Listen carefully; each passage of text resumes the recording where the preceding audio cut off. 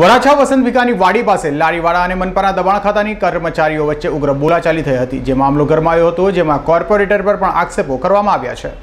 વરાછા વસંત ભીગાની વાડી પાસે વર્ષોથી લાડીઓ લગાવી શાકભાજી સહિતનો વેપાર શ્રમજીવીઓ કરે છે, ત્યારે બુધવારે મોડી સાંજે મનપાના દબાણ ખાતા દ્વારા ત્યાં દબાણ હટાવવાની કામગીરી શરૂ કરવામાં આવી હતી.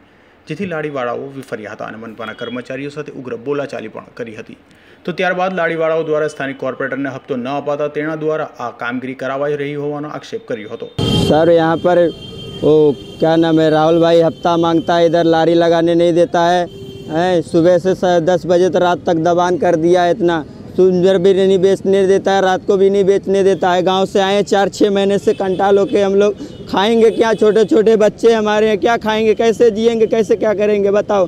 उनको तो पगार मिलता है ऊपर से और भी मुल्टी वो लारी वाले से हफ़्ता लेते हैं सबसे। हैं? राहुल भाई? वो साहब है म्यूनसिपाल्टी वाला। हाँ। रफ्ता लेता है दो हज़ार पर तीन हज़ार ऐसे एक लारी वाले से हर जगह जगह पे उसका बनाया हुआ सबसे हफ़्ता लेता है। हाँ। आज साहब मेरा एक लारी ले गया एक लारी और था एक भाई का। उसका ले गया लारी पूरा माल खाली करवा दिया था। आपकी क्या मांग है? हमारी मांग है साहब हम लोग धंधा नहीं करेंगे तो खाएँगे क्या से? हैं? कहाँ से जिएँगे रूम का भाड़ा कहाँ से देंगे बताओ?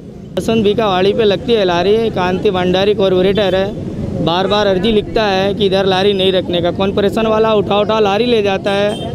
छः बजे का नियम है दस बजे तक चालू रखता है। अक्का दिन इधर मार्केट में दो मार्शल चार मार्शल रख के जाते हैं फिर भी बोलते हैं इधर लारी धंधा नहीं करने का हमारे को जगह तो मिलना चाहिए धंधा करने का कहीं पर और प्लस बात हर जगह तो ट्रैफ़िक हो रहा है यहाँ पे ऐसा तो नहीं कि मेन रोड है हाईवे है जो है भी इधर इतना ट्रैफ़िक होता है और कहीं पे तो ये सब नियम लागू रखना चाहिए कि बस ये अपना बसंत बीका वाड़ी है। मतलब राहुल ने कुछ पैसे की मांग की राहुल तो बार बार लारी वाले बोलते हैं कि पैसे माँगता है साहब जो है हमको हफ़्ता लाओ और गडवी है वो बोलता है कि मेरे को पैसे लाओ, हम लोग कहाँ से पैसे लाए? अभी दस दस हज़ार रुपये का साहब ने बोला लोन कराओ।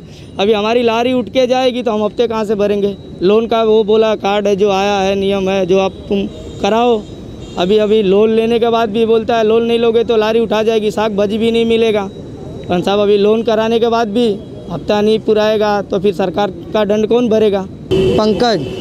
पंकज क्या हुआ और कौन सी जगह साहब, हम लोग को इतना परेशान कर रहे हैं। मेरे पास भाई बहन, माँ बहन सब लोग हैं। साहब, हम लोग कमाएँगे नहीं, खाएँगे क्या कहाँ से भरेंगे। साहब, लारी पकड़ के ले जा रहे हैं। सब हफ़्ता मांग रहे हैं। साहब, ईश्वर कृपा से हफ़्ता भर रहा है। राहुल साहब ने तीन हज़ार पैंतीस सौ सबसे हफ़्ता ले रहे हैं, साहब।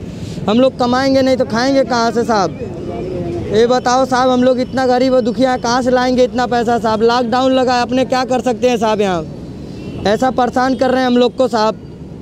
क्या क्या बोल रहे हैं राहुल राहुल साहब बोल रहे हैं यहाँ लारी मत लगाओ साहब લાડીવાળાઓએ અને મનપાના દબાણ ખાતા વચ્ચે થયેલી ઉગ્ર બોલાચાલીને લઈ વાતાવરણ તંગ બની ગયો હતો Azhar Qureshi G twenty news